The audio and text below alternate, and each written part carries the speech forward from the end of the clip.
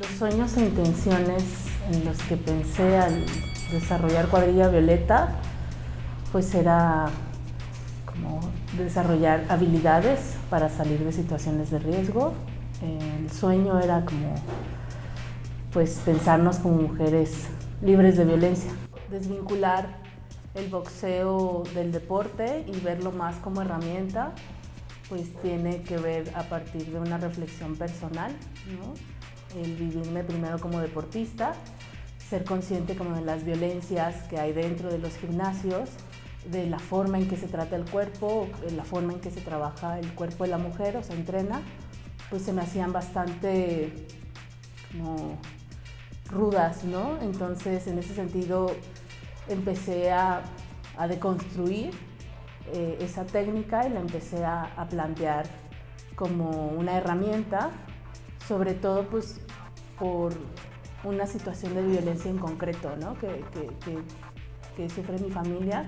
Entonces, pues es lo que me lleva a reestructurar la técnica. El reconocer este, las partes del cuerpo ya como una herramienta, ¿no? Eh, es lo que me lleva a reestructurarlo en el sentido de sacarle provecho a, los consejos o a los tips que se da dentro del gimnasio para dañar un cuerpo. Más que eh, verlo como un, un combate, yo lo veía como un posible agresor y era como ir desmenuzando esa técnica para pasarlo a una herramienta.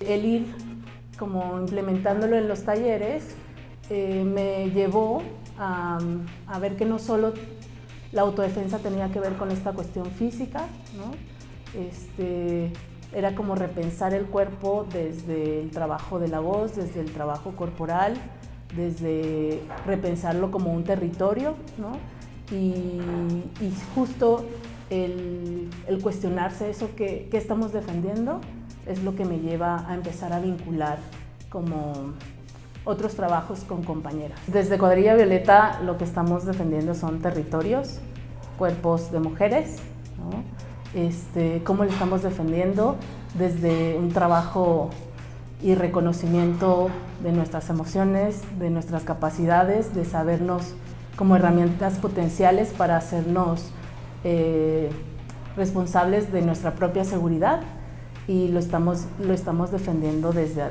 de adentro hacia afuera, ¿no? desde el reconocernos, desde el, el resonar con nosotras mismas, con algo que nos negaron culturalmente.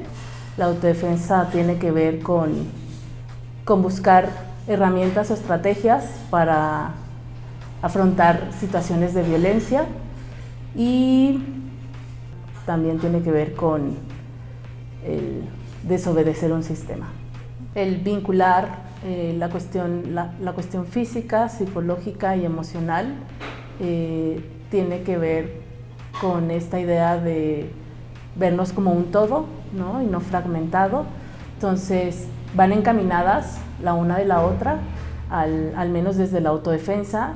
No puedo pensar trabajar una parte física y dejar de lado lo emocional, ¿no? O sea, eh, me pienso como o nos pienso como en una situación vulnerable y pues el cuerpo lo siente, la mente está como pensando y las emociones pues nos están atravesando, ¿no? Entonces, justo es como replantearnos desde ahí como un todo y no como algo fragmentado que nos han hecho creer, ¿no? Entonces, el repensarnos desde lo físico, psicológico, emocional, que si lo podemos como integrar en esta parte corporal de que nos negaron sentir, pensar, hablar, pues tiene que ver con eso, ¿no? Y nos reivindica y nos hace reconocernos y nos hace fortalecernos y nos hace reapropiarnos de nuestros territorios y situarnos o posicionarnos como armas potenciales. Los mayores obstáculos que he tenido que pasar para desarrollar Cuadrilla Violeta, no sé si, si le llamaría obstáculos, pues, pero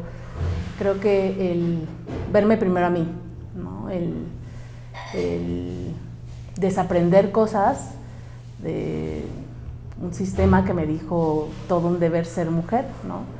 que me negó la voz, que me negó el reconocimiento corpóreo, que me negó el reconocimiento de mis emociones.